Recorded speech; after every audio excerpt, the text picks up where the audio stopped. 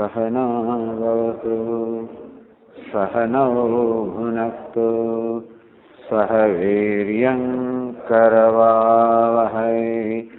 तेजस्विनावधीतमस्तु मा विद्विषावहै। ॐ शान्तिः शान्तिः शान्तिः ॐ पूर्णमदः पूर्णमिदं पूर्णात् पूर्णमुदच्यते। पूर्णस्य पूर्णमादाय पूर्णमेवावशिष्यते। ॐ शान्तिः विश्वं दर्पणदृश्यमाननगरे तुल्यं निजान्तर्गतम् पश्यन्नात्मनि मायया बहिर्वो भूतं यथा निद्रया। यः साक्षात् कुरुते प्रबोधसमये स्वात्मानमेवाद्वयम्। तस्मै गुरुमूर्तये नम इदं श्रीदक्षिणामूर्तये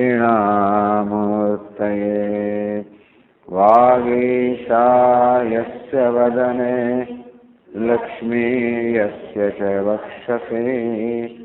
यस्यास्तिहृदये संविद तं नृसिंहमहं भजे। ॐ नमः परमहंसा स्वादित चरणकमलचिन्मकरन्दाय भक्तजनमानसनिवासाय श्रीरामचन्द्राय विश्वसर्गविसर्गादि नवलक्षणलक्षितम् श्रीकृष्णाख्यं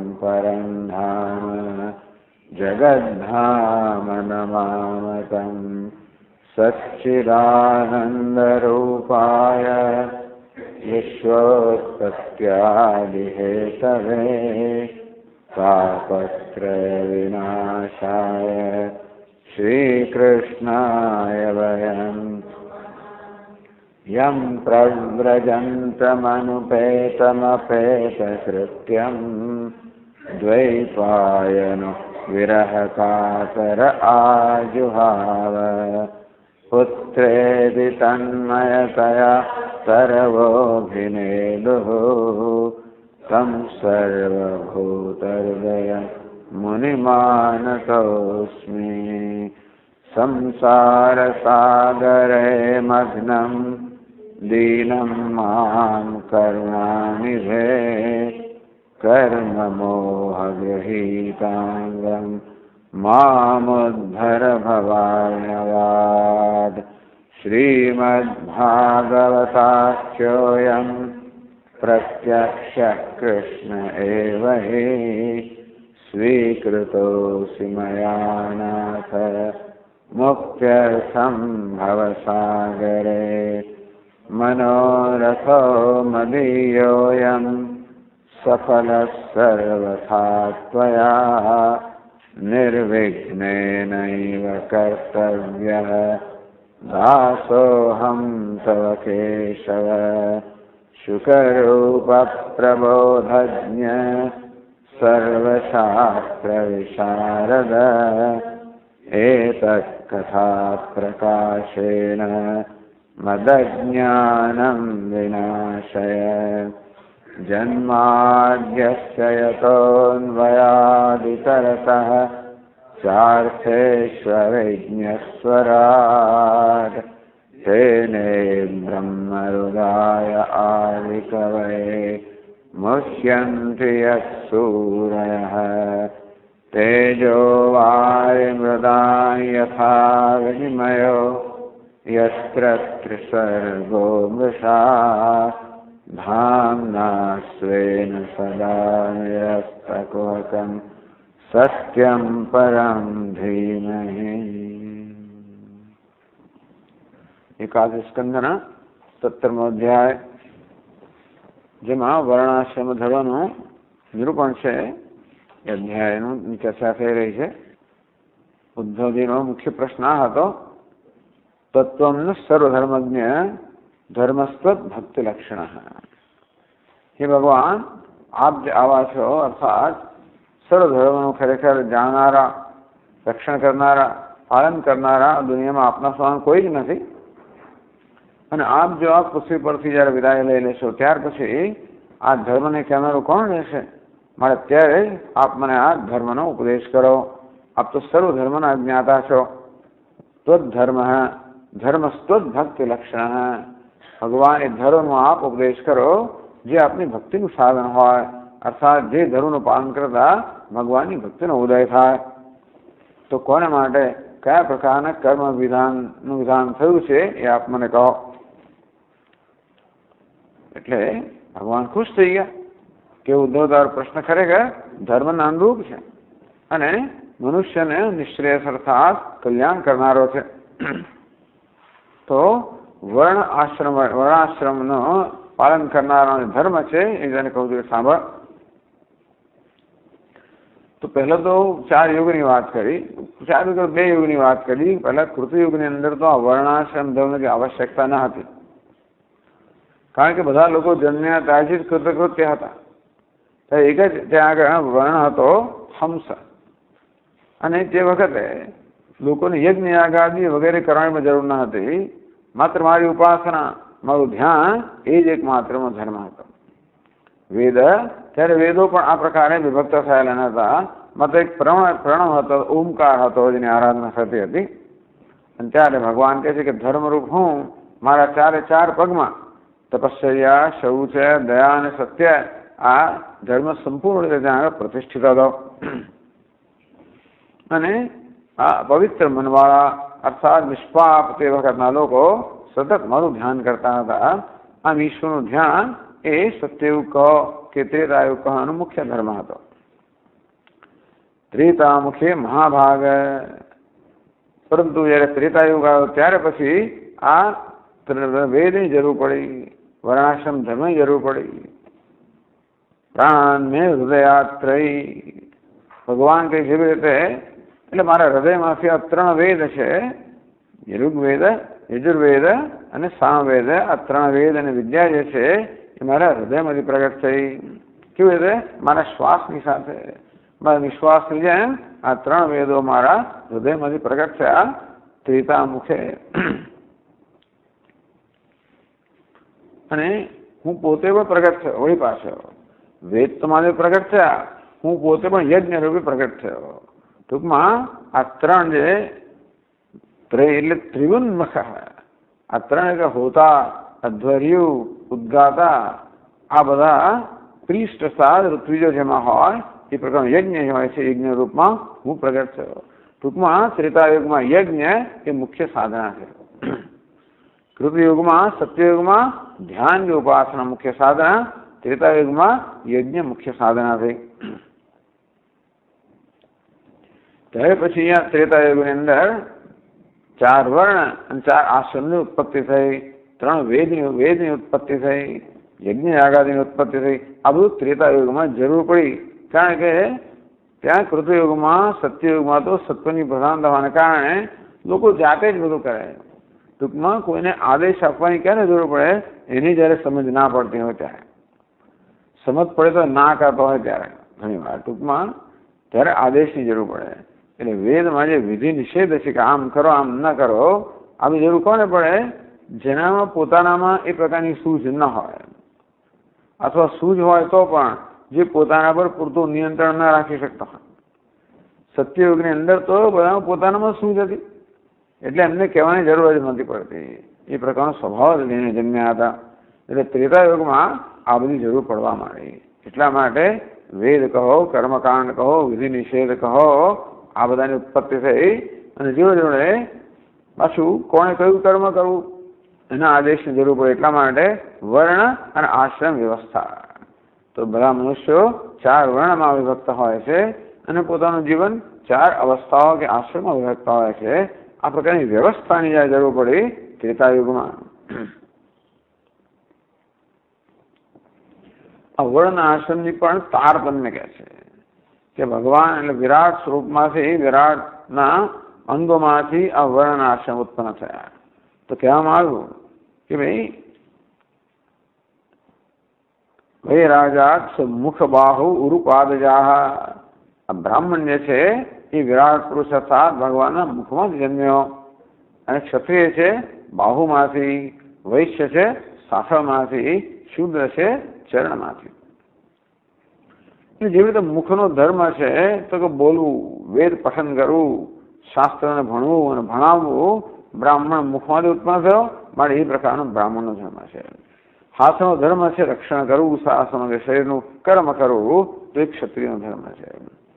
અને સાખર કહો કે પછી આપણી હોજરી કહો, એનો ધર્મ છે કે જે કે અન્ન આવે એને પચાવવું અને સમગ્ર શરીરની અંદર વહેંચવું, તો એ વૈશ્યનો ધર્મ છે, કે એને સંપત્તિ ઉત્પન્ન કરવી અને બધાને વહેંચવી અને પગનો ધર્મ છે શરીર શરીરને જ્યાં હોય ત્યાં લઈ જવું, છે સેવા કરવી.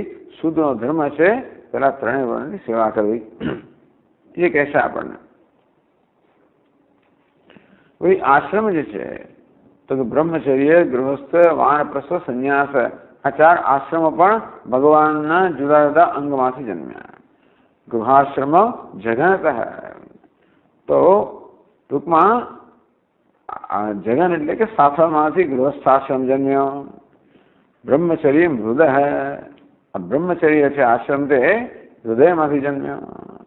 વક્ષસ્થાના ધ્વનિવાસ પક્ષસ્થળમાંથી વાનપ્રસ્થાશ્રમ જન્મ્યો અને શીર્ષણી સંસ્થિત સંન્યાસ અને એ સંન્યાસ છે એ વિરાટ પુરુષના મસ્તકમાંથી જન્મ્યો.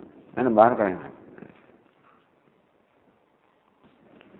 તો આ રીતે મસ્તકમાંથી સંન્યાસ વક્ષસ્થળમાંથી વાણપ્રસ્થ હૃદયમાંથી બ્રહ્મચર્ય અને સાસળમાંથી ગૃહસ્થાશ્રમ આ પ્રકાર આશ્રમની ઉત્પત્તિ પણ બતાવે પછી કહે છે કે આ બધા આ વર્ણ આશ્રમ ધરાવનારા મનુષ્યની પ્રકૃતિ કેવી હોય સ્વભાવ કેવો હોય છે કયા પ્રકારનો સ્વભાવ લઈને જન્મ્યા હોય છે તો કે જન્મભૂમિ અનુસારણી વિરાટ પુરુષના કયા અંગમાંથી એમની ઉત્પત્તિ એ પ્રકારની પ્રકૃતિ હોય છે. એટલે જે નીચે નીચોત્તમોત્તમા જે નીચે જન્મ્યાની પ્રકૃતિ નીચી હોય, ઉપર જન્મ પ્રકૃતિ ઊંચી હોય, તો સંન્યાસ, તો વર્ણ, સંન્યાસ બ્રાહ્મણની ઉત્પત્તિ મુખમાંથી અને સંન્યાસની મસ્તકમાંથી, એટલે એ લોકોની શ્રેષ્ઠ પ્રકૃતિ હોય. પછી ક્ષત્રિયની બાહુમાંથી અને અને વાનપ્રસ્થની વક્ષસ્થળમાંથી બીજી પ્રકૃતિ. પછી શુદ્ધ વૈશ્ય છે એ સાથળમાંથી અને આ બધું બ્રહ્મચારી છે હૃદયમાંથી ત્રીજી પ્રકૃતિ. અને શુદ્ર છે એ ચરણમાંથી. ગૃહસ્થ જે છે સાસળમાંથી નીચામાં નીચી પ્રકૃતિ. આ પ્રકારે પ્રકૃતિ કહેવામાં આવે. હવે આ ચાર વર્ણ જે છે, બ્રાહ્મણ, ક્ષત્રિય વૈશ્ય શુદ્ર એ લોકોનો સ્વભાવ કેવો હોય છે? સ્વાભાવિક ધર્મ કેવો હોય છે? એનું અહીંયા વર્ણન કરે છે. જો ભગવદ્ ગીતામાં છે, અહીં પણ એનું વર્ણન છે. તો એકસો ને પંચોતેરના પાના પર સોળમાં શ્લોક મળે છે. શમોદમસ્તપઃ શૌચમ સંતોષ ક્ષાંતિરાર્જવમ क्षान्तिरार्जवम् शमोदमस्तपःशौचं सन्तोषः क्षान्तिरार्जवम् मद्भक्तिश्च दया सत्यं ब्रह्मप्रकृतयस्त्विमाः मद्भक्तिश्च दया सत्यं ब्रह्मप्रकृतयस्त्विमाः બ્રહ્મપ્રકૃતય આ બ્રાહ્મણની પ્રકૃતિ હોય છે ટૂંકમાં આ પ્રકારની પ્રકૃતિ ધરાવનારો હોય એ બ્રાહ્મણ કહેવાય એટલે સામાન્ય રીતે એટલે કહ્યું કે ભાઈ સ્વભાવ. સ્વભાવ અન્યથા પ્રતિતિ કોઈ કે આ બ્રાહ્મણના ઘરમાં જન્મ છે એનો સ્વભાવ તો જો? તો આવી રીતે આપણે સ્વ અન્યથા પ્રતિતિ જે હોવો જોઈએ એના કરતાં આપણને જુદા પ્રકારનો સ્વભાવ જણાય, બંને રીતે જણાય. કદાચ શુદ્ધ ને ત્યાં જન્મેલા હોય એનો સ્વભાવ ઉત્તમ પણ હોય, કે પછી ઊંચામાં જન્મેલો સ્વભાવ નીચો પણ હોય, અન્યથા પ્રતિતિ ઔપાધિક. તો કે એ સામાન્ય નિયમ નથી, એ તો વિશેષતા છે ઉપાધિને કારણે એવું હોઈ શકે. યથા જલસ્ય વન્ય વન્ય આત્મયોગાત ઔષ્ણ્યમ. જેમ જળની પ્રકૃતિ છે, તો કે ઠંડક શીતળતા જળની પ્રકૃતિ છે. પરંતુ અગ્નિ કે પછી તડકાના સંયોગમાં આવે ત્યારે જળ પણ ગરમ થઈ જાય. એટલે એવું નથી કે જળનો સ્વભાવ બદલાઈ ગયો છે જળ ગરમ લાગે છે.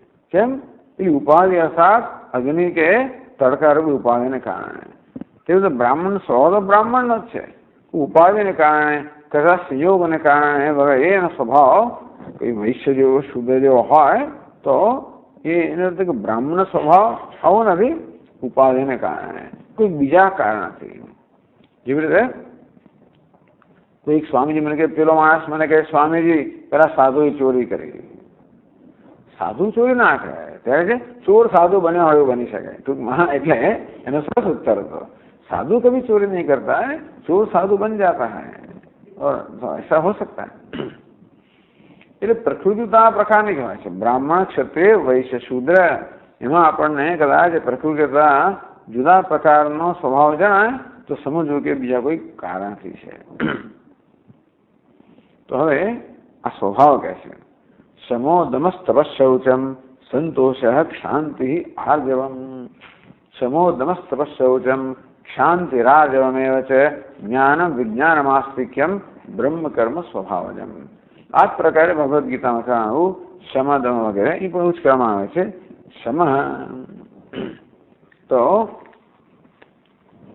શમ અંતઃકરણ નિગ્રહ શમ એટલે શાંતિ ટૂંકમાં મનની શાંતિ પણ શમ એ મૂલ્ય આપણે માનીએ તો આ બ્રાહ્મણ એટલે સ્વભાવથી માણસો મન શાંત હોય શમ બ્રાહ્મણનો સ્વભાવ કેવો હોય સ્વભાવથી શાંત હોય શાંત મન ક્યારે હોય મનમાં જ્યારે આવેગો ના હોય ત્યારે જ્યારે રાગ દ્વેષ ના હોય કામ ક્રોધ વગેરે ના હોય એ પ્રકારના આવેગો છે રાગ દ્વેષ હોય ઈર્ષ્યા હોય ઘમંડ હોય આવું જ્યારે હોય ત્યારે આ બધી વસ્તુ મનને અશાંત બનાવનારી છે. એટલે શાંતિ. ક્ષમા એટલે શાંતિ. તો કે આ પ્રકારે બ્રાહ્મણ બનવા માટે આ પ્રકારનો સ્વભાવ કેળવવો જોઈએ. ટૂંકમાં દરેક જણાએ બ્રાહ્મણ સ્વભાવ બનવું જ પડે. કદાચ જન્મથી ના બની શકીએ, જન્મથી જે જન્મ્યા જન્મ્યા. પરંતુ આ રીતે આ બધા વર્ણ આશ્રમના સ્વભાવનું વર્ણન કરવાનું એક પ્રયોજન એ પણ છે કે દરેક દરેક જણને સ્વભાવથી એ પ્રકારના બનવાની સ્વતંત્રતા છે માણસ પોતાનો જન્મ અર્થાત જાતિ ભલે ના બદલી શકે ભલે વૈશ્યના જન્મ્યો હોય શુદ્રના ત્યાં જન્મ્યો હોય પરંતુ સ્વભાવથી એ જાતિ શુદ્ર હોય સ્વભાવથી બ્રાહ્મણ હોઈ શકે જાતિથી બ્રાહ્મણ હોય સ્વભાવથી શુદ્ર હોઈ શકે અને તેથી એક એવો સમય હશે જ્યારે આ બધું વર્ગીકરણ માત્ર સ્વભાવથી જ થતું હોય જાતિથી પણ સ્વભાવથી તો થોડા ઘણા લોકો હોય તો આવું થાય. બહુ લોકો જયારે વધી જાય ત્યારે પછી નક્કી કેમ કરવું કે એનો સ્વભાવ કેવો છે? સ્વભાવ એ તો આંતરિક વસ્તુ છે ને. એટલે એનું કોઈ બાહ્ય એના એવા કોઈ ચિહ્નો નથી હોતા કે જેથી બહારના ચિહ્નથી નક્કી કરે કે આ ચશ્મા પહેરે મારા સ્વભાવ હોવો જોઈએ ના કહું છે, મારા હોવું જોઈએ આવી ઊંચાઈ છે માટે આવો રંગ છે માટે એવું કહી શકાય નહીં. એટલે કે બહારના ચિહ્નો છે એને અંદરના સ્વાદ જોડવા મુશ્કેલ છે. હોય તોય પણ એ બધું સમજવા સામુદ્રિક શાસ્ત્ર વગેરે સમજવાના તો બહુ બધા સૂક્ષ્મ બુદ્ધિ ધરાવનારા લોકો હોવા જોઈએ. પરંતુ ટૂંકમાં મનુષ્યના સ્વભાવનો નિર્ણય કરવો મુશ્કેલ છે. એટલે સ્વભાવથી જો આપણે જાતે નક્કી કરવાની હોય ધીમે ધીમે બધું મુશ્કેલ થતું ગયું એટલા માટે જન્મથી જાતે નક્કી થઈ જન્મ કઈ વસ્તુ છે? આપણે બધા સમજી શકીએ એવી વસ્તુ છે. અને કર્મનો સિદ્ધાંત છે કે જીવાત્માનો જન્મ ક્યાં થાય છે? એના કર્મને અનુરૂપ જન્મ થાય. એટલે પછી આપણે એવી જાતને એક શંકાનો લાભ આપીએ કે ભાઈ આ બ્રાહ્મણના કુળમાં જન્મ્યો, મારે એનો સ્વભાવ એવો હશે, એનું કર્મને લઈ આવ્યું છે, મારે એવો સ્વભાવ હશે. અને તેથી આ જન્મ પ્રમાણે જાતિ નક્કી થઈ એ બહુ ઉત્તમ વસ્તુ તો નથી, પરંતુ માણસની જાતિ નક્કી કરવા માટે આપણી પાસે બીજું કોઈ સાધન નથી. બધા કહે છે કે ભાઈ આ જન્મથી પણ ન થવું જોઈએ જન્મથી સ્વીકારીએ છીએ ચાતુર્વર્ણ્યમ મયા સૃષ્ટમ ગુણ કર્મ વિભાગ ભગવાન તો કહે છે કે મનુષ્યના ગુણ પ્રમાણે સ્વભાવ બંધારણ પ્રમાણે એના કર્મનો વિભાગ થવો જોઈએ અને એ પ્રકારે જ મેં રચના કરી પરંતુ સ્વભાવ નક્કી કેમ કરવો સ્વભાવ નક્કી કરવા માટેનું સાધન નથી હોતું ને આપણી પાસે એ ડૉક્ટર પહેલું સ્ટેથોસ્કોપ હોય જાત જાતના સાધનો વિકસાવ્યા છે. અંદર શું ચાલી રહ્યું છે એની પણ એ લોકો જાંચ કરી શકે, તપાસ કરી શકે. સાધનો વિકસાવ્યા છે. તો છતાં એ બધા સાધનો જે છે, એ આંતરિક સ્થૂળ વસ્તુને માપી શકે એવા સાધનો છે. સૂક્ષ્મ વસ્તુને માપવાના સાધન નથી.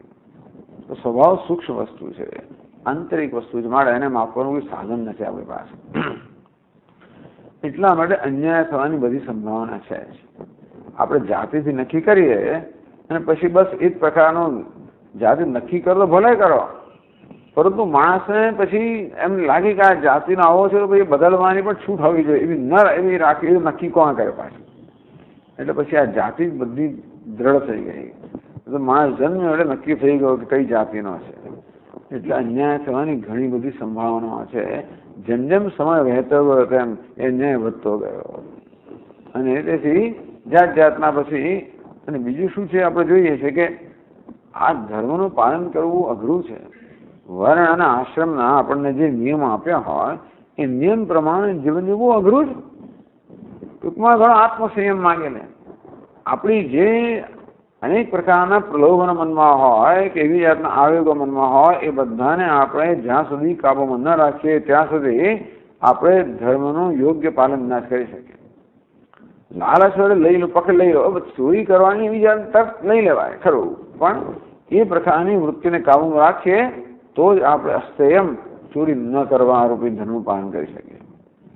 બ્રહ્મચર્ય, ટૂંકમાં આપણી ઇન્દ્રિયો પર નિગ્રહ ક્યારે રાખી શકીએ? જ્યારે આપણે વળી પાછા આપણા ક્રોધ કે લોભ, આ બધી વૃત્તિઓને કાબૂમાં રાખીએ ત્યારે. ટૂંકમાં એટલે ધર્મનું પાલન કરવા માટે આ કામ, ક્રોધ, લોભ બધાને કાબૂમાં રાખવા પડે. અઘરું છે. બહુ મોટો જડ નથી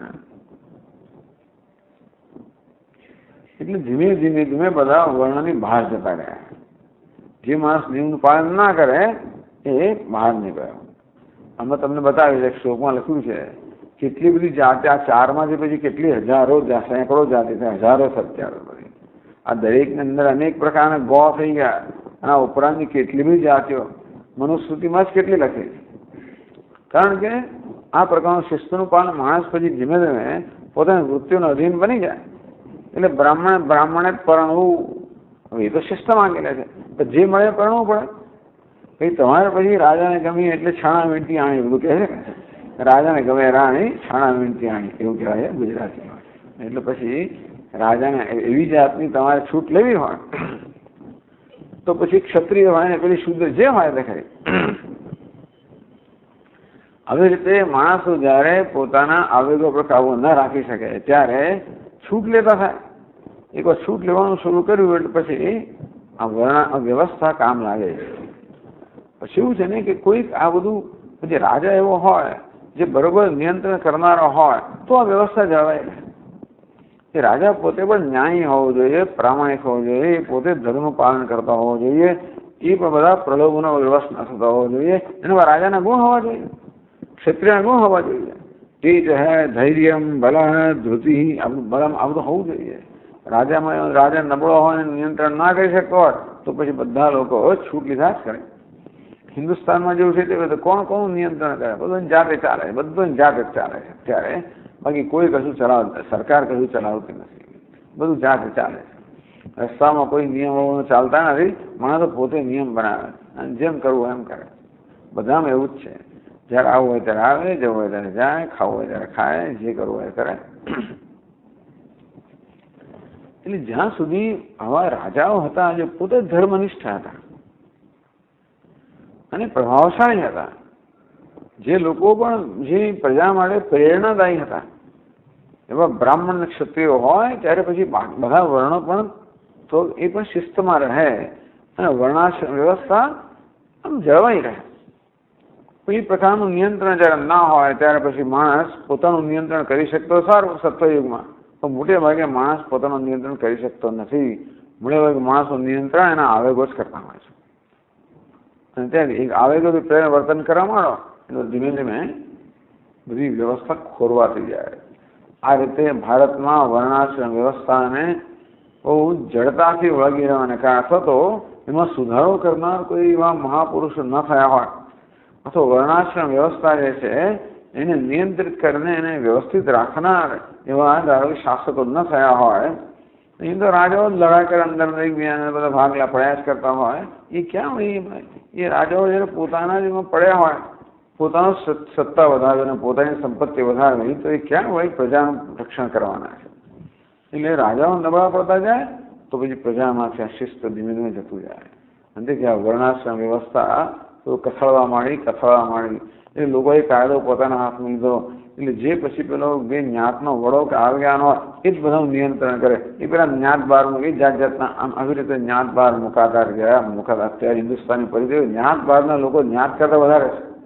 ટૂંકમાં અત્યારે પેલા બધી કેટલા બધા પેલા, કારણ કે પેલું પંચ ને ફલાણું પંચ ને ઢીકણું પંચ ને બધા છે ને, એ બધા પંચના ભેગા કરો તો હિન્દુસ્તાનની વસ્તી પચાસ ટકા વધારે એ જ છે. એમાં એ લોકોને કંઈક પ્રશ્ન એ છે, એ કરનાર કોણ છે?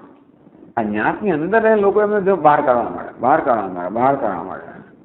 અને એમને અંદર લાવવાની પ્રવૃત્તિ નહીં થઈ ગમે. ચાલો, તમે એવી ઉદારતા રાખો કે ધીમે ધીમે એ લોકોનો સ્વીકાર કરીને વળી પાછા એવું નહીં થયું હોય. આ રીતે આ ઘણા લોકોને અન્યાય કરનારી પણ આ વ્યવસ્થા બની કે કોઈ પણ વ્યવસ્થા જ્યારે બહુ જડ બહુ એકદમ ચુસ્ત બની જાય ને કોઈ ચસકવાના તો અંદર તો પછી લોકોને અન્યાય થવાનો છે. એટલે ભાઈ બહુ અન્યાય ને એટલે વર્ણાશ્રમ વ્યવસ્થા જે ખરેખર તો મનુષ્યના કલ્યાણ માટે છે. આ એક જ સંસ્કૃતિ છે જેમાં સુંદર વ્યવસ્થા હતી. અને એટલા જ માટે કે સમાજની જે કંઈ બધા સમાજના જે કર્તવ્યો છે દરેકને વર્ણ પ્રમાણે તો દરેક જણ પોતાના સ્વભાવ અને શક્તિના આવડત પ્રમાણે યોગ્ય કર્તવ્ય કરી શકે. એમ કરતાં એનો પોતાનો વિકાસ થાય, સમાજનો વિકાસ થાય.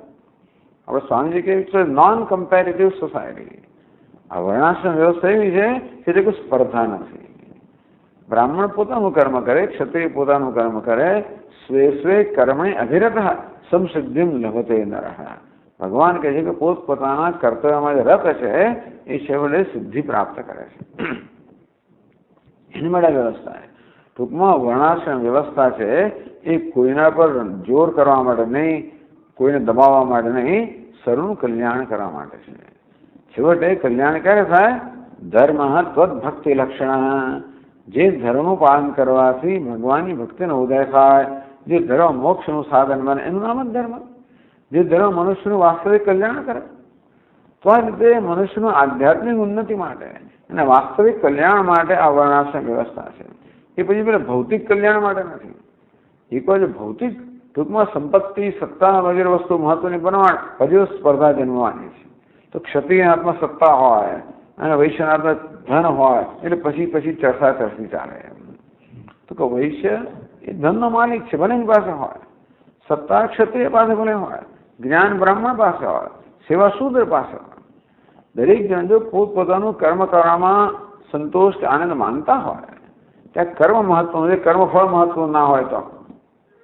કર્મણ્યવાધિકાર હસ્તે સ્વે સ્વે કર્મણે અભિરત કર્મફળમાં કર્મમાં અભિરત હોય ટૂંકમાં જેને પોતાને કર્મ કહો કર્તવ્ય કહો ફરજ કહો એને પર આદર હોય અને એને એ મહત્વનું ગણતો હોય એ દ્વારા શું મળે છે કે નહીં તેથી એવું જ્યારે હોય ત્યારે કર્મ મહત્વનો બને ધર્મ મહત્વનો બને ત્યારે એ આધ્યાત્મિક ઉન્નતિનું સાધન બને સમગ્ર સમાજની ઉન્નતિનું સાધન બને એ માટે આ વર્ણાશ્રમ વ્યવસ્થા છે. એટલે કહ્યું ને નિશ્રેષ કરો નૃણામ, વર્ણાશ્રમ વર્ણાશ્રમાચારવતા નૃણામ. વર્ણને આશ્રમના પ્રમાણે આચરણ કરનારા મનુષ્ય માટે નિશ્રેષ અર્થાત મોક્ષનું સાધન બને આ ધર્મ. એટલા માટે આ વર્ણાશ્રમ વ્યવસ્થા હતી. એની તો બહુ હજારો પ્રકારની ટીકાઓ, નિંદાઓ, બધું માણસોનું સારું ટૂંકમાં હિન્દુસ્તાન હિન્દુઓ ખાસ કરીને એમને ઉતારી પાડવા માટે બધાને એક સરસ હાથો મળી ગયો.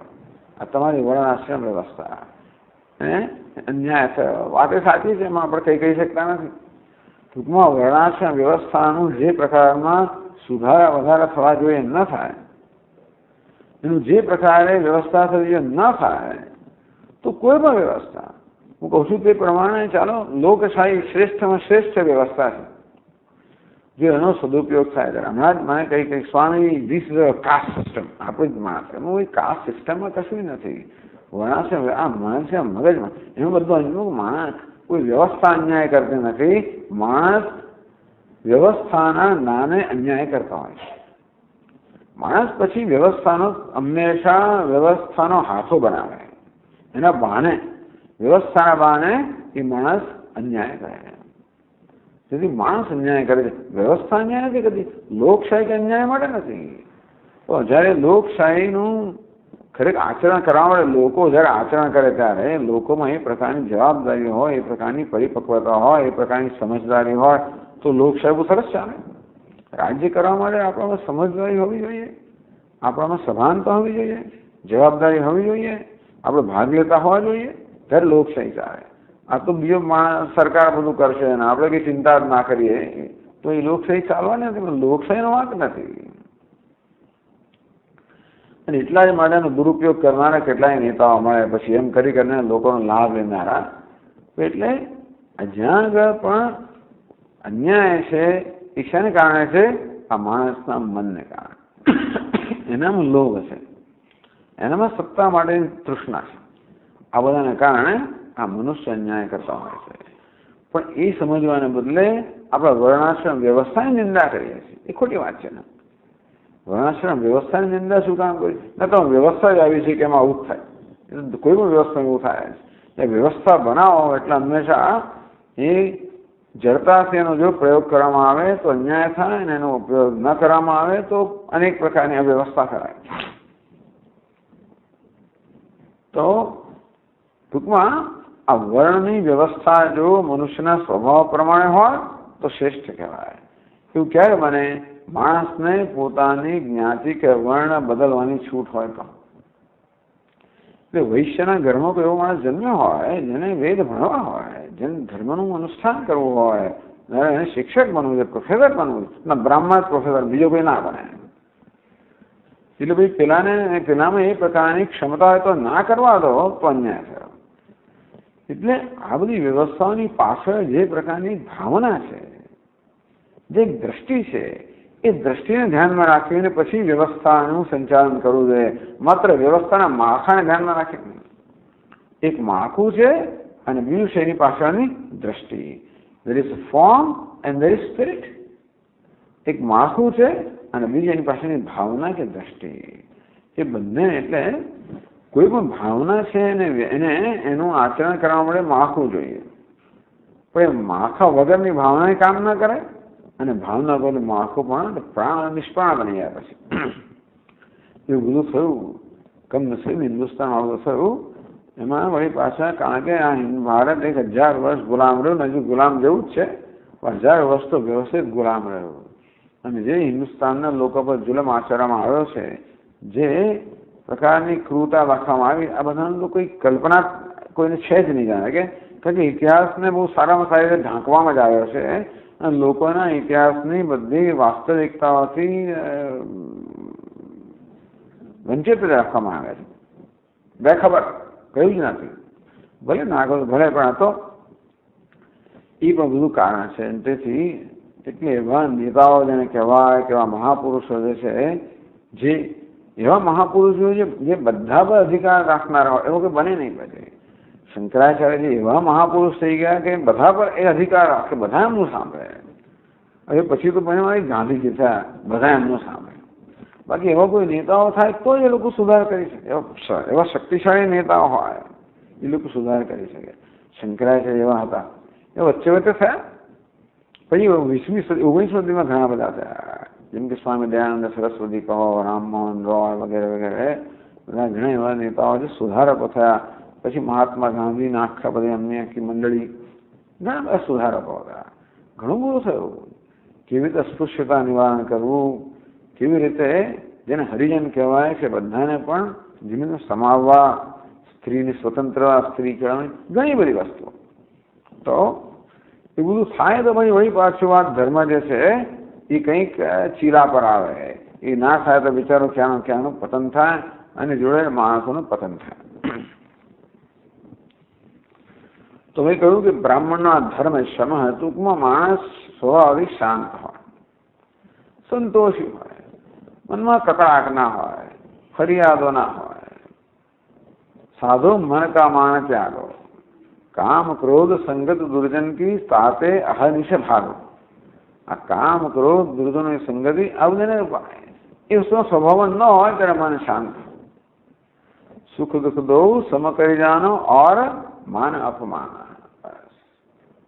સુખ દુઃખ માન અપમાન આ બધું જ્યારે આવી સમત્વ જ્યારે હોય ત્યારે મનમાં શાંતિ હોય બાકી તો જો સુખ આવે ત્યારે મનમાં હર્ષનો આવેગ આવે દુઃખ આવે તો મનમાં શોકનો આવેગ આવે આમ હર્ષ ને શોકના આવેગો જો આવે તો મન શાંત હોય એટલે હર્ષમાં મન શાંત હોય ખાલી શોકમાં અશાંત હોય એવું નહીં હર્ષનો આવેગી પણ રજોગુણ જ છે ત્યારે મન શાંત હોય એટલે રજોગુણ ને તમોગુણથી મહદ અંશે જ્યારે આપણું મન મુક્ત હોય મન મહદ સાત્વિક હોય ત્યારે મન શાંત હોય ક્ષમા તો કે સમય એટલે મનની શાંતિ અથવા તો માણસે આ સમય એટલે કે મનની શાંતિ માટે સાવધાનીપૂર્વક પ્રયત્ન કરવો જોઈએ મનને શાંત રાખવા માટે.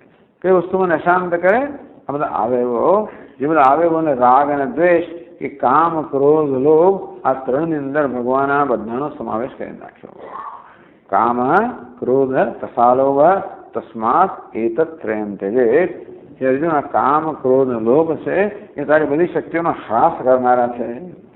અને એ નરકનું અર્થાત બધા પ્રકારની યાતનાઓનું દ્વાર છે. મારે એનો ત્યાગ કરાવ એવા લોકો જન્મ્યા હોય સ્વભાવથી જન્મમાં આ બધા આવેગો એવા પ્રબળ ના હોય. એવું નથી કહેતું, સ્વભાવ કોને કહેવાય? પૂર્વ જન્મોના કર્મને આધારે જે પ્રકારની વૃત્તિ આપણે પ્રાપ્ત થઈ હોય એનો સ્વભાવ. એટલે જન્મે ત્યાંથી જ માણસ કંઈક સ્વભાવ લઈને આવતો હોય છે, પૂર્વના કર્મોના પરિણામ રૂપે. તો હોય છે, ઘણા. જેનો સ્વભાવ જેવો હોય, સંતોષ હોય, ફરિયાદ વગર હોય.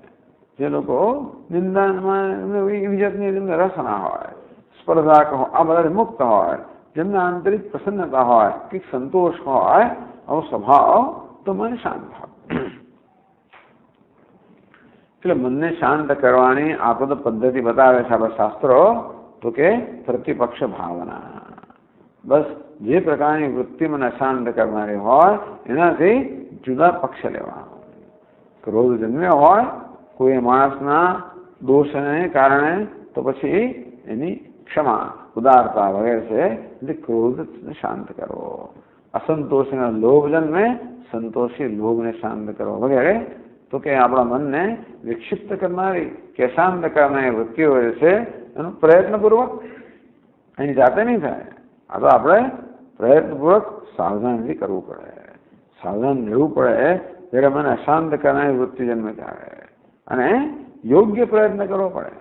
એ વૃત્તિને સમજવી પડે અને એ કેમ જન્મી જાણવું સમજ પડે. એનું કારણ દૂર કરીએ ત્યારે એ વૃત્તિ દૂર થાય. ટૂંકમાં આપણી વસ્તુઓ મનની ઘણી સમજ માંગેલા છે. શમ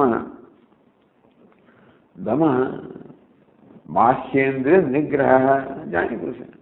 આ તત્વોથી શબ્દ શમ દમ દમ એટલે બહારની ઇન્દ્રિયોનું નિગ્રહ. બહારની ઇન્દ્રિયોનું નિયંત્રણ, આપણે જ્ઞાનેન્દ્રિયો છે અને કર્મેન્દ્રિયો છે. એક અંતઃકરણ છે. એ અંતઃકરણના નિયંત્રણને શમ કહેવામાં આવ્યું. અને બાહ્યકરણ છે જ્ઞાનેન્દ્રિયો અને કર્મેન્દ્રિયો એના નિયંત્રણને દમ કહેવામાં આવ્યો. આમ દમનો અર્થ છે દમન. દમન કરવું એટલે જોર જુલમ કરવો. બહારની ઇન્દ્રિયો પર જોર જુલમ એટલે ટૂંકમાં જો આપણું કહ્યું ના માનતી હોય તો એમને જરા બળજબરીથી પણ એમને પોતાના સ્થાને રાખવી. ટૂંકમાં ઇન્દ્રિયોની સ્વચ્છંદતા ન હોવી જોઈએ. આંખને જ્યાં જોવું ત્યાં જોયા કરે અને કાન જે સામે સાંભળ્યા કરે તો કે એ ના ચાલે. હું કહું ત્યાં જોવાનું. તારે જોવું હોય ત્યાં નહીં? હું કહું તે સાંભળ. તું તારે સાંભળવું હોય ત્યાં નહીં? પગ હું કહું ત્યાં લઈ જાય. એને ફાવે ત્યાં ના જાય. હા તો હું કહું તે પ્રકારની ચેષ્ટા કરે. એને ફાવે તેમ ના કરે. આવી રીતે હાથ બિચારા કંઈ કરતા નથી, પરંતુ આ પ્રકારની વૃત્તિઓ મનમાં જ હોય છે. અને આપણે ખબર જો સાવધાન ના હોઈએ તો મન પોતાને સ્વભાવ જે છે એ દ્વારા આ જ્ઞાનેન્દ્રિયો કર્મેન્દ્રિયો વડે કઈ ને કઈ પ્રકારની પ્રવૃત્તિ કર્યા કરતું હોય છે. અને તો બાહ્યેન્દ્રિય નિગ્રહ, ટૂંકમાં શિસ્તનું પાલન, ધર્મનું પાલન. જે પ્રકારની બાઉન્ડ્રી અર્થાત મર્યાદાઓ શાસ્ત્રે પણ આપી હોય એ મર્યાદાનું પાલન.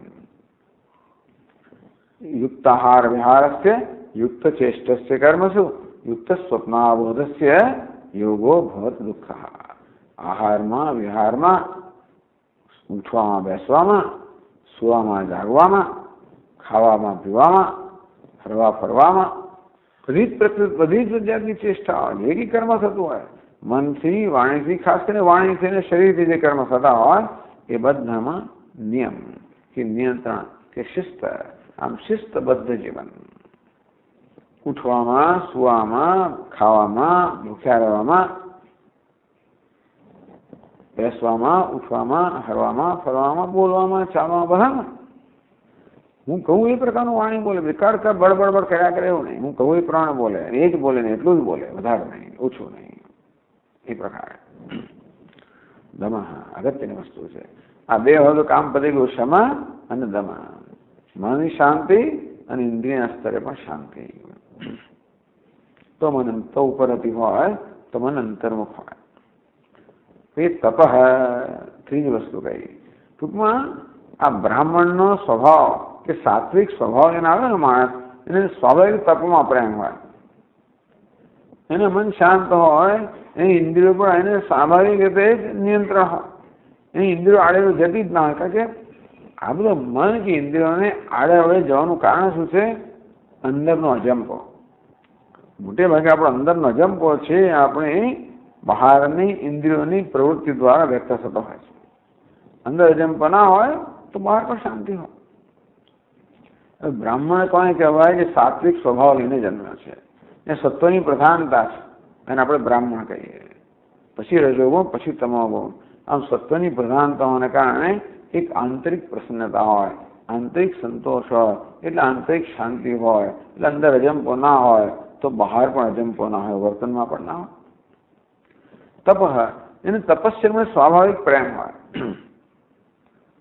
તો તપ અહીંયા તો તત્વ આલોચન એવો અર્થ કરવામાં આવ્યો કારણ કે દમમાં તપસ આવી ગયું અથવા મનસ્ય મનસ્ય ઇન્દ્રિયાણામ છે એકાગ્રમ પરમમ તપ આ મન ઇન્દ્રિયોની એકાગ્રતાને પરમ તપ કહેવામાં આવ્યો છે અથવા તો તપ આલોચને. જેમ તૈત્રીય ઉપનિષદની ભૃગોલ્યમાં કહેવામાં આવ્યું તપસ્સા બ્રહ્મ વિજિજ્ઞાસસ્વ. પિતા વરુણે ભૃગુને હે વરુણ એ ભૃગુ, તું તપશ્ચર્યાથી બ્રહ્મને જાણવાની ઈચ્છા કર. ત્યાં આગળ અર્થ કરવામાં આવ્યો, તપ આ, તપ એટલે શું? સુધી જંગલમાં ભૂખ્યો રહે કે શું કરે? એક પગે ઊભો કે નહીં? તપ આલોચને.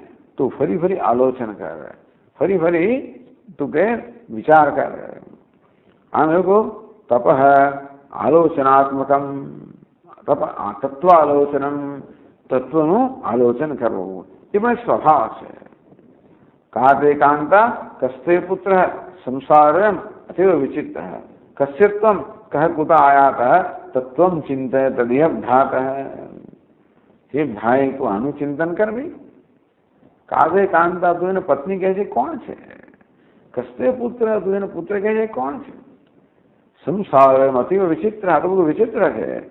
તું જેને આજે પુત્ર કહે છે, ગઈકાલે તને પુત્ર કહેતો હતો.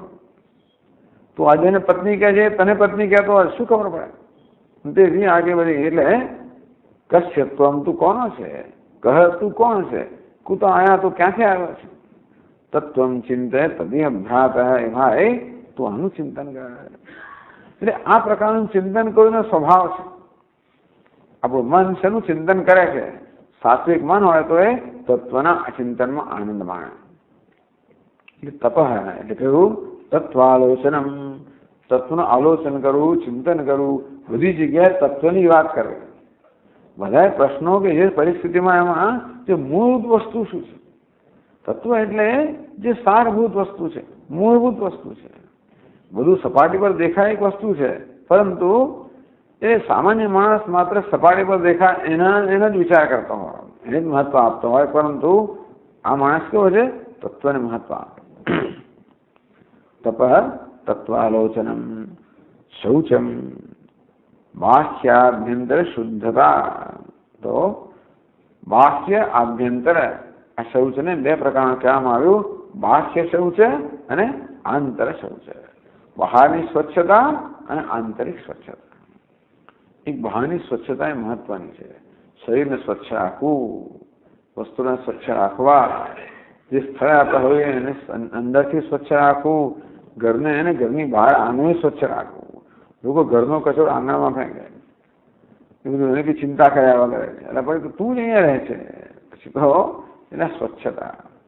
આપણે સ્વામીજી કે આ સ્વચ્છતા એક બહુ સરસ વસ્તુ છે. એટલે કહ્યું ને ભાઈ cleanliness is next to godliness એવું કહેવામાં અંગ્રેજીની અંદર. સ્વચ્છતામાં ઈશ્વરનો નિવાસ છે. આમ, સ્વચ્છતાથી લાભ શું છે? કે સ્વચ્છતાની એક પ્રકારની આપણામાં ટેવ હોય, તો મન પણ આપણું શિસ્તબદ્ધ બને. બધી બહારની વ્યવસ્થા બરાબર હોય, બહાર સ્વચ્છતા હોય તો મન પણ ધીમે ધીમે સ્વચ્છ બને. આમ તો સામાન્ય રીતે બહારની જે અસ્વચ્છતા છે, કે બહારની જે અવ્યવસ્થા છે એ માનસિક અવ્યવસ્થાનું સૂચક હોય છે. અંદર બધા ગૂંચવાડા હોય એટલે બહાર બધું ગૂંચવાડા ભર્યું હોય. અંતે એની બહારની અવ્યવસ્થા હોય. અંદર સ્પષ્ટતા હોય કે વ્યવસ્થા હોય, તો બહાર પણ વ્યવસ્થા પણ એક તો બહારની વ્યવસ્થા, સ્વચ્છતા, ચોખ્ખાઈ, આ માટેની એક એક, એને માટેનો એક આગ્રહ હોવો જોઈએ. હવે તો જોવા જઈએ તો ભાઈ કેટલી બધી વસ્તુઓની આપણા સભાનતા હોવી જોઈએ.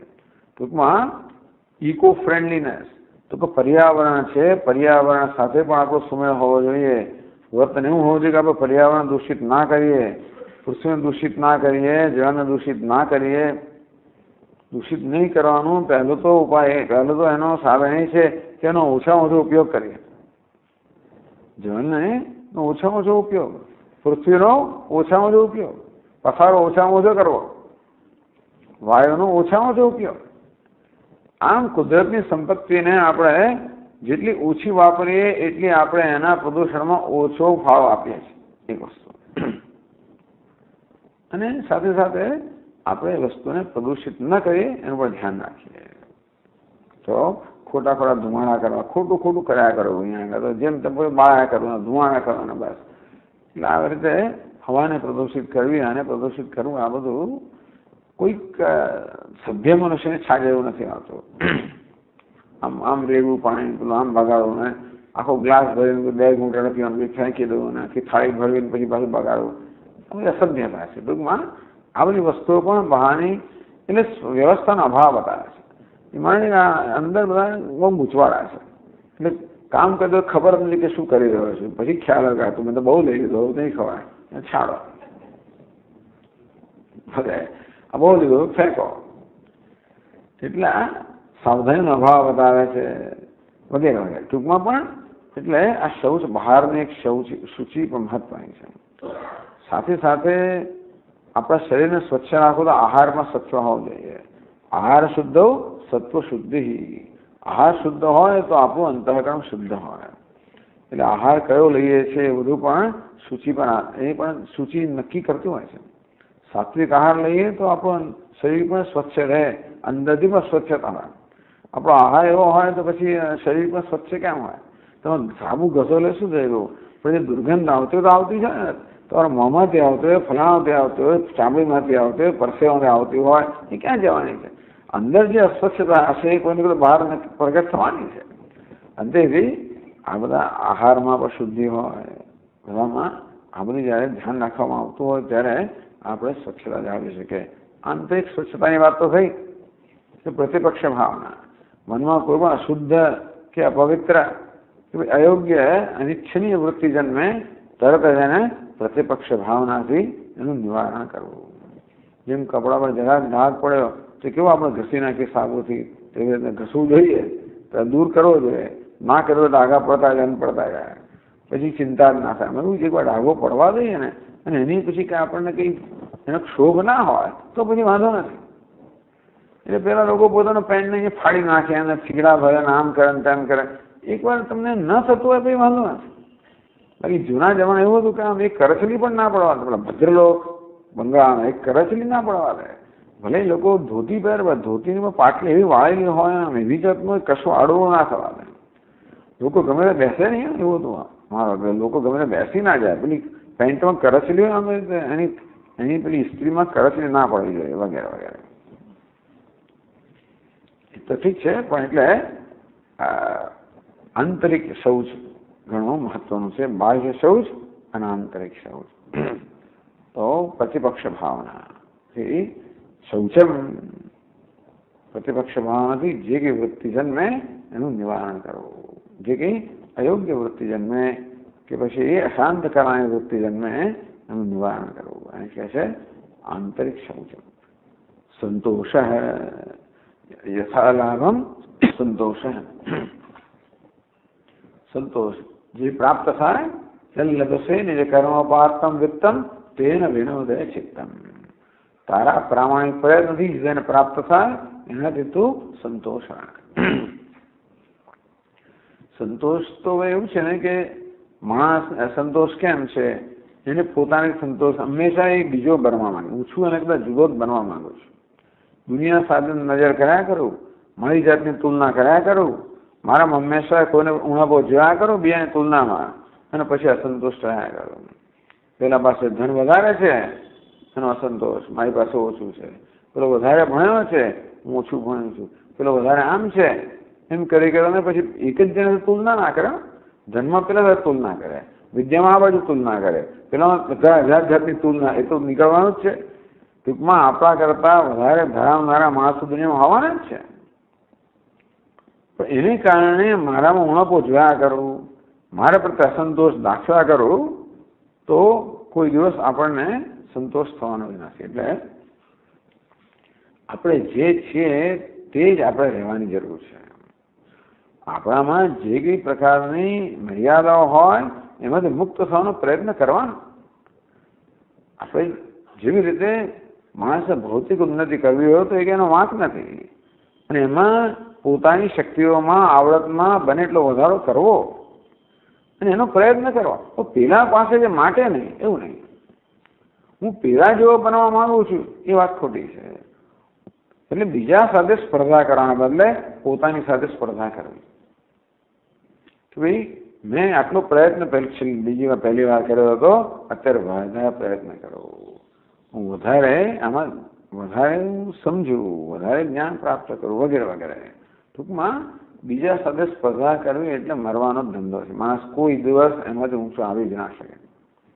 કારણ કે હંમેશા એવા બીજા હોવાના જે આપણા કરતા એક કોઈ એક ક્ષેત્રમાં આગળ વધેલા છે દુનિયામાં એવો કોઈ માણસ શ્રેષ્ઠ તો છે જ નહીં. એકમાં શ્રેષ્ઠ હોય, બીજામાં પાછો નથી હોવાનો શ્રેષ્ઠ. તેથી આ માણસ અસંતોષ અને સ્પર્ધા કરાવડાવે છે. બીજા કરતા આગળ વધવા માટે એને ધકેલે છે. એમ કરીને બિચારો હંમેશા આખી જિંદગી સુધી અંદર બળતો ને બળતો છે. એની પાસે છે એનો આનંદ ક્યારે લઈ જ ના શકે? અસંતુષ્ટ મનુષ્ય કોને કહેવાય? પોતાની પાસે એનો આનંદ તો લઈ જ ના શકે અને નથી એનું સતત ચિંતન કર્યા જ કરે. આ બધા ક્ષેત્રમાં, આધ્યાત્મિક ક્ષેત્રમાં પણ અસંતોષ. પણ એમાં પોતાની સાથે એમાં તમારે સ્પર્ધા કરવી હોય તો માણસે સદગુણો સાથે સ્પર્ધા કરવી એમાં કંઈ ખોટું નથી. એ માણસ જો કેવો સાચો બોલે, હું પણ એવું બનું. એ કેવો પ્રામાણિક છે, હું પણ એવું બનું. એ કેવો ઉદાર છે, એ દયાળુ છે, ક્ષમાશીલ છે, હું પણ એવું બનું. એ સ્પર્ધા એટલા માટે ઉપયોગી છે કે સ્પર્ધા એટલો થઈ શકે, કારણ કે એ જે ગુણ ધરાવે છે, એવા ગુણ આપણામાં છે. ટૂંકમાં ક્ષમા છે ઉદારતા છે બધા સદગુણો દરેક દરેક મનુષ્યના અંતરમાં છે. અને એવી એ પ્રકારની આપણે સ્પર્ધા કરીએ.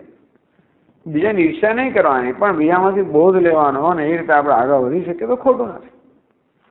એટલે તેથી ટૂંકમાં અંતઃકરણ શુદ્ધિ વિશે અસંતોષ હોય, કે પોતાના સદગુણ વિશે અસંતોષ હોય, તો એ કદાચ આ અસંતોષ છે એ આપણે ઉન્નતિ કરવામાં આવે છે. પરંતુ ભૌતિક વસ્તુ વિશે આ સંતોષ કયો છે?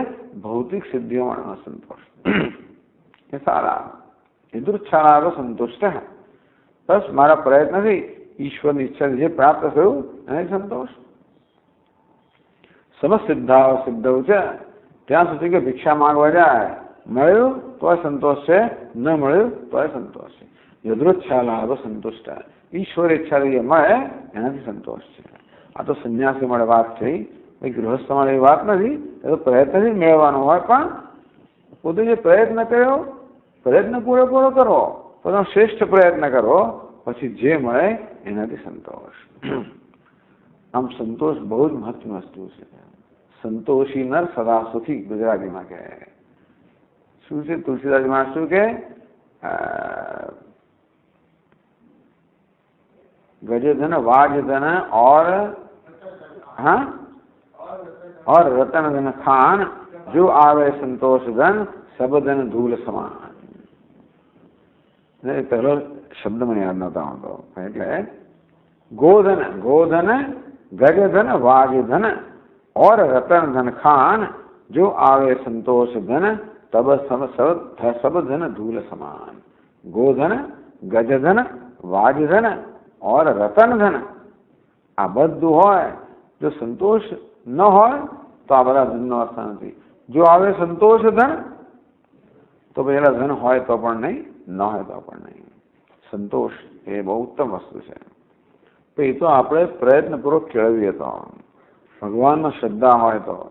કે ભગવાન દરેક જણને પોતાની જરૂરિયાત પ્રમાણે આપે છે. ભગવાન જે જોઈએ છે તો ના આપે, પણ જરૂર છે આપે છે એવી શ્રદ્ધા હોય તો. ટૂંકમાં મને જે આપ્યું છે એ મારી જરૂરિયાત પ્રમાણે પૂરતું છે. પેલા વધારે કેમ આપ્યું? એ ભગવાન જ છે. એને વધારે જરૂર હશે. બાળકોમાં ઝઘડો થતો જાય છે ને. માં પેલાને શીરો ખવડાવવાના અને ખીચડી ખવડાવવાને કકડા કકડા ચાલે પણ તું તો હજી હમણાં માંદગીમાંથી ઉઠ્યો છું અને પેલા માણસ કંઈ તકલીફ નથી માટે.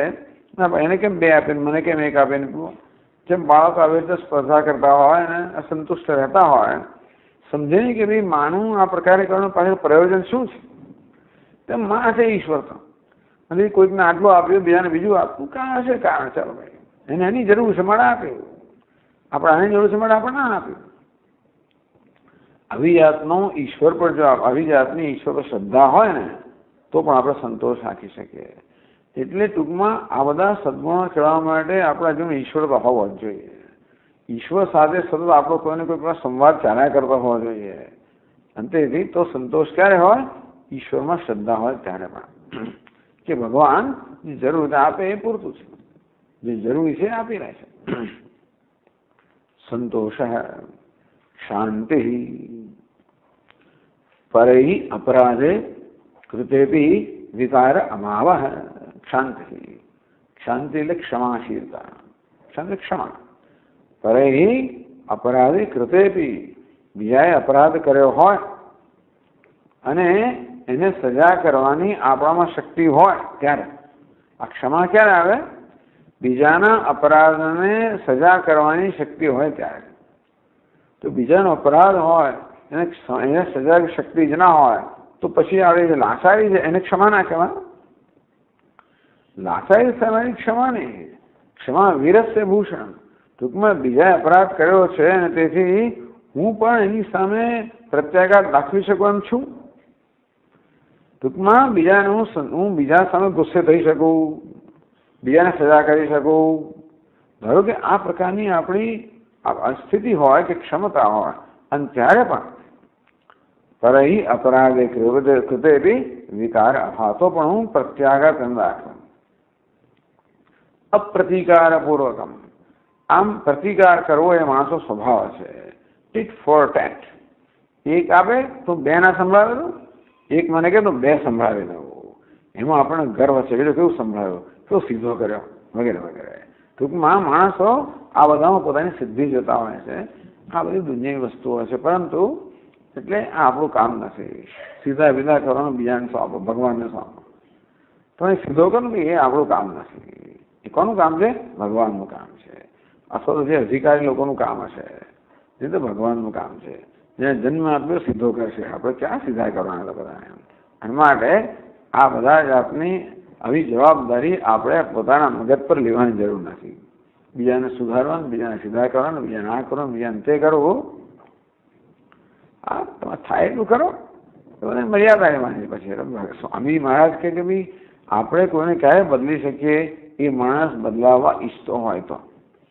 એ બદલાવા ના ઈચ્છતો હોય તો ભગવાન ના બદલી શકે. સ્વામીજી કહે છે કે મને પહેલાં હું લાગુ માનતો હતો તો હું બદલી શકું બધાને. તો મારા બધા શિષ્યોએ મને શીખવાડ્યું કે એમણે મને બદલ્યો. કે તો બદલ્યો? કે ભાઈ હું બદલી ના શકું. એ પ્રકારની મારામાં સમજ ઉત્પન્ન કરીને મને બદલ્યો કે તો એટલે તેથી આ બધાની મર્યાદા છે. ટૂંકમાં આપણે બીજાને બદલવા, બીજાને સુધારવા, બીજાને સીધા કરવા આ બધું આવી જાતનો બોજ માથા પર લેવાની જરૂર નથી. એટલે બીજા પ્રહત એટલે ટૂંકમાં ક્ષમા એટલે દિલની ઉદારતા. આમાં મૂળ તો એવું છે કે દિલની ઉદારતા. ઉદાર દિલથી સ્વીકાર કરવો. એટલે સ્વામીજી આ ક્ષમાનો એટલે એકોમોડેશન જેવી રીતે આકાશ કેવું છે, બધું અવકાશ પ્રદાન કરે છે.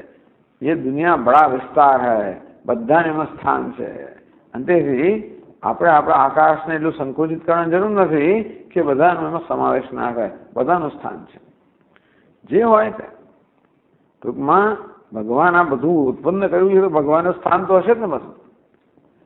તેથી ભગવાને જે કેટલા ચોર્યાસી લાખ જાતિ જાતિ ઉત્પન્ન કરી છે, એ કેટલું એમનામાં એકોમોડેશન કેટલી બધા અવકાશ છે ત્યારે કર્યું છે એમાં સાપ આવે ને, વીછી પણ આવે ને વાઘ સિંહ પણ આવે દૈત્ય પણ દેવ દૈત્ય ગંધર્વ બધા અંદર આવે. સ્વર્ગ પણ આવે નરક પણ આવે બધું એના રાજમાં ચાલે છે. ટૂંકમાં બધાના અવકાશ પ્રદાન કરે તો આપણે વળી કોણ છે મોટા? આમ દિલની ઉદારતાથી અવકાશ પ્રદાન કરવો. અને આપણા મનની અંદર પણ એ વ્યક્તિ પ્રત્યે વિકાર અભાવ એટલે શું? મનમાં પણ વ્યક્તિ માટે રોષ ના જન્મવો. ક્રોધ ના જન્મવો. એના પ્રત્યે પેલી બદલાની વૈરવૃત્તિ ન જન્મવી. બાકી આપણે બહારથી ઘણું ના કરીએ. અંદરથી આપણે વૃત્તિઓ દાખવતા હોઈએ કે જાળવતા હોઈએ તો પછી એ ક્ષમા નથી અંદરથી પછી આપણામાં એના માટે રોષ હોય ક્રોધ હોય કે ક્યારેક પછી બદલો લેવાની વૃત્તિ હોય તો કે નહીં વિકાર અભાવ મારામાં રોષ ના જન્મે ક્રોધ ના જન્મે બદલો લેવાની વૃત્તિ ના જન્મે અથવા બીજું કદાચ ઘણી વાર આપણે પ્રતિકાર નહીં કરતા આપણી જાતને દોષ આપીએ કે હું જાઉં છું ને પણ આપણામાં હીનતા જન્મે આ બધા પ્રકારના વિકારનો અભાવ ટૂંકમાં બીજાના વર્તનથી આ પ્રકારના પ્રત્યાઘાતનો ભાવ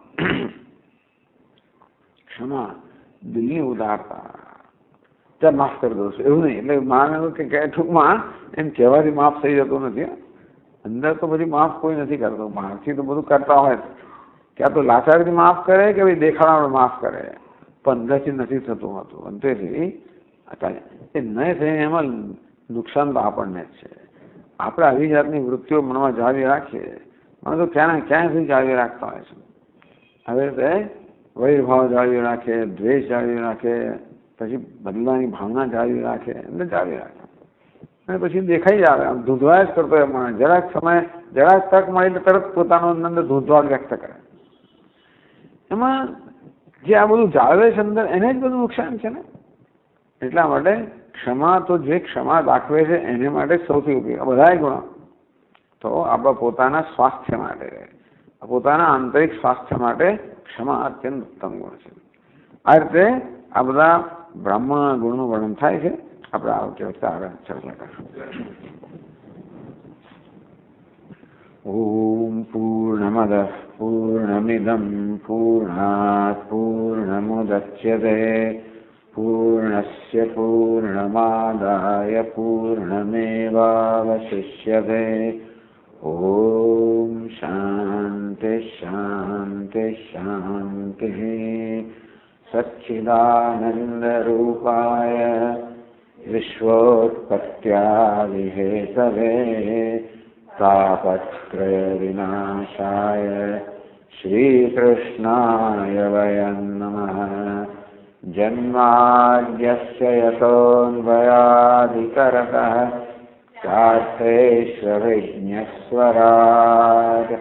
हेने ब्रह्मरुदाय आदिकवये मुह्यन्ति यः सूरयः। तेजो वायुमृदां यथा विनिमयो यत्र त्रिसर्गो मृषा धाम्ना स्वेन सदा निरस्तकुहकं सत्यं परं धीमहि। ॐ शान्ति शान्ति शान्तिः। हरिः ॐ श्रीगुरुभ्यो नमः। हरिः ॐ